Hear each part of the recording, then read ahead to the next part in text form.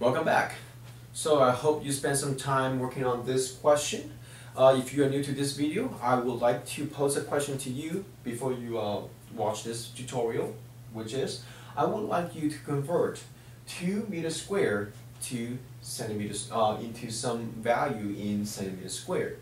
Um, if you have trouble thinking about this, you may refer to the previous videos for some clues and uh, you may pause for a while and then get back to the video uh, afterwards, after you have done your work. Okay, so let's get started to explain this problem. Now, before I go into the detail of this conversion, I want you to understand something that is very, very basic in algebra. And you're going to understand what's going on.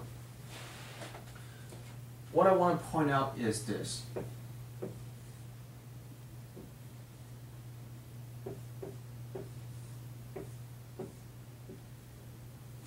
I would like you to understand the difference of x times x y cube and parentheses xy close parentheses uh, raised to the third power. Now, if you have taken Algebra 1 or some kind of equivalent courses, you should understand that this is not the same as this one because for this one it is equal to x cubed y cubed. The, the, uh, the cubed outside of parentheses will distribute to all the terms, to all the terms inside the parentheses, uh, within the within the parentheses. So uh, you will see why I would bring this up because it is going to be very very important. If you would like, I would highly recommend you to write this on the side of your notebook or on your paper, just to remind yourself. Okay. So I'm going to erase this.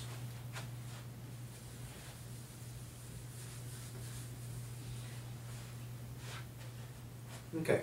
Now, when we talk about conversions regarding to something that is squared or to some kind of power, students often struggle in this type of problem. And the reason why students would struggle is because it is just something that is not as simple as what they have done in the past or not as simple as what we have done in the previous tutorial. Now let me tell you this, it is simple. Okay, it is simple. Do not think it is difficult because once you understand what we talked about in the last tutorial about the concept of one, you should have no problem of accomplishing this type of conversion. Okay, so let's get started. So to off the calculation, we write down what is given. Okay, and um, and for here, I'm going to use the conversion factor method uh, or some people call it the factor label method because this is something that we use uh, most of the time in chemistry and uh, in science classroom, in college or in high school or in middle school. So, um, we have to figure out what conversion factor to put in here. And based on our conversation, uh, or my instruction in the last tutorial, we understood that whatever in the numerator has to equal to whatever in the denominator. Okay? Now, one student, many students would commit this mistake. Students understand this. Okay, one meter is equal to 100 centimeters. So if you have been using metric system, uh, you would use this to talk about height, okay, or length. Um, so this is something that is pretty much given. Okay, one meter is equal to 100 centimeters. Now, we are talking about something squared. And I'm going to use red marker to write down what many students would commit this particular mistake.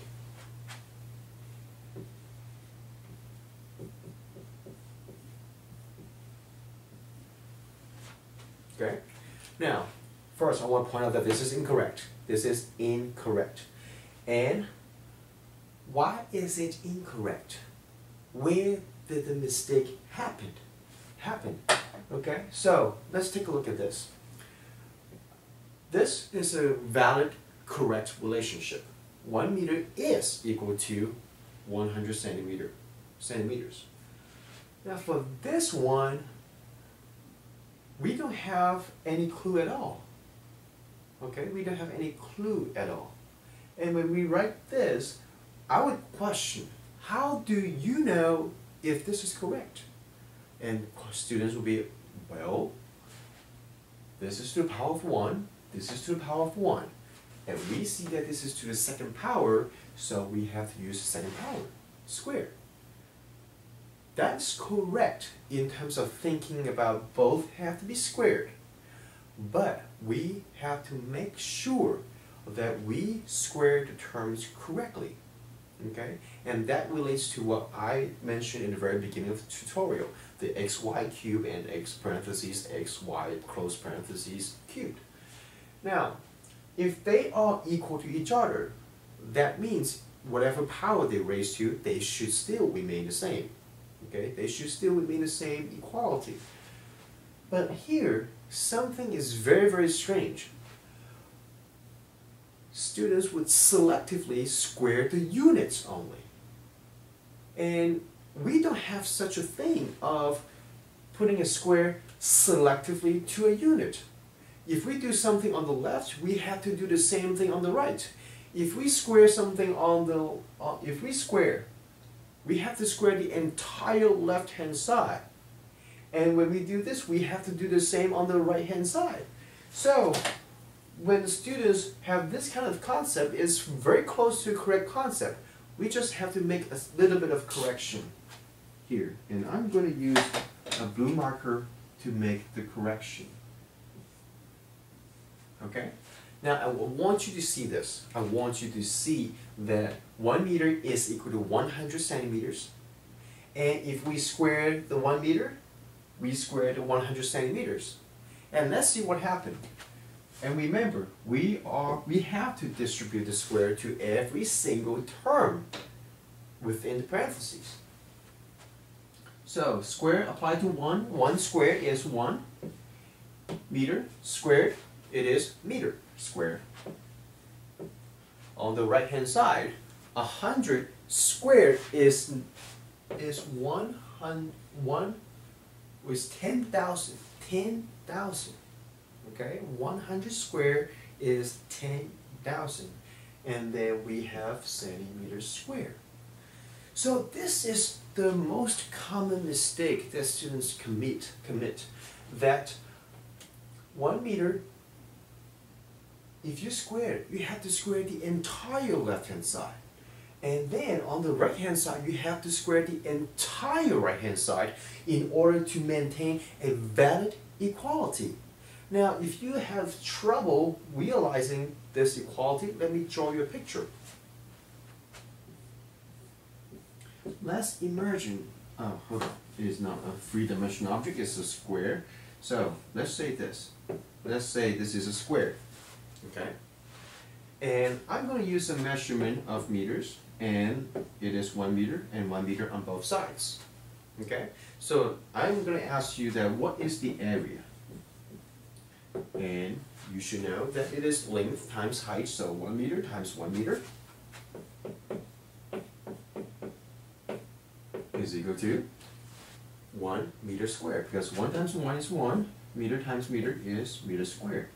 Now, I would like to point out here also is that when we use the word meter, it is just like any other term. It is just like any variable that if they multiply together, they would become square. Okay, they would not magically to become something else. They still follow the mathematical rules that we learned in the past.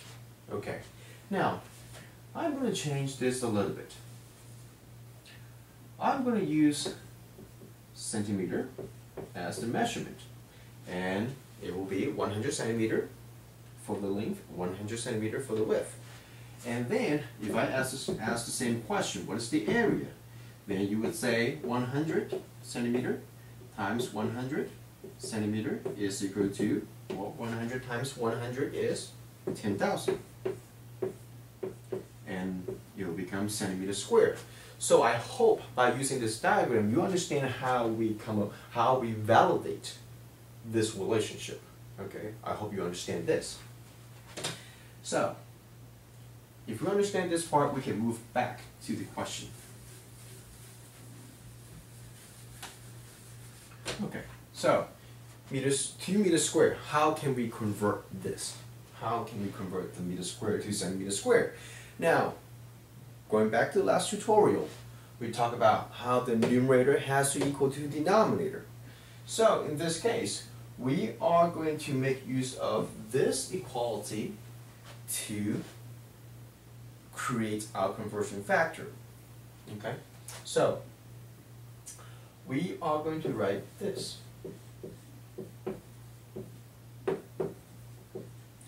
And by making this conversion factor, we are going to get the correct answer.